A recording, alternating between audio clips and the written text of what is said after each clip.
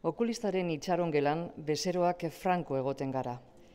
Beinola, negar zantzo itzelak entzun nituen, aur batenak.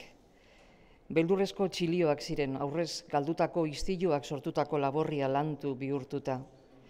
Gerosiago, ama aurrak atera ziren. Aurra amaren sorbaldan burua eskoratuta, leher eginda. Ez zituen hiru urte izango, nire txanda zen jarraian. Haze gaizki pasatu duen gaixoak esanion medikuari. Begiri gabe jaio zen, erantzun zidan. Amar milatik bati gertatzen zaio mikroftalmia izeneko malformazio kongenitoa. Fetuari ezaizkio begiak garatzen, ez betasalak, ez da malko gurinak ere.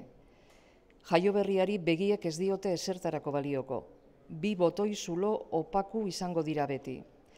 Baina buruko ezurren askundea guztiz bukatu arte, ezingo zaio kristalesko begirik jarri.